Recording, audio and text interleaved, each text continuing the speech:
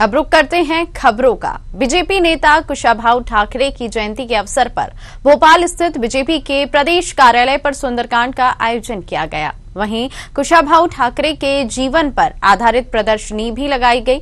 इस प्रदर्शनी को केंद्रीय मंत्री नरेंद्र सिंह तोमर, मुख्यमंत्री शिवराज सिंह चौहान और राष्ट्रीय अध्यक्ष कैलाश विजयवर्गीय समेत तमाम बीजेपी नेताओं ने अवलोकन किया।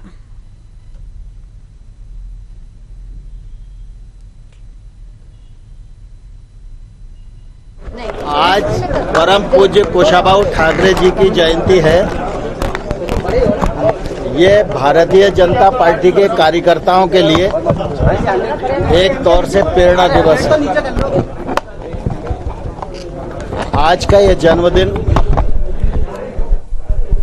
ठाकरे जी के जीवन का सौवा वर्ष हो रहा है। इसलिए भारतीय जनता पार्टी ने इस वर्ष को संगठन वर्ष के रूप में मनाने का निर्णय लिया है।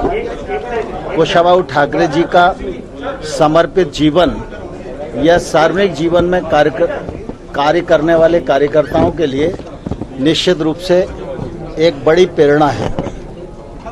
वर्ष भर संगठन के जो कार्यक्रम चलेंगे, उससे भविष्य की जो भारतीय जनता पार्टी की पीढ़ी है, उसे कुशाभाऊ ठाकरे जी के व्यक्तित्व और कृतित्व को समझने का अवसर मिलेगा।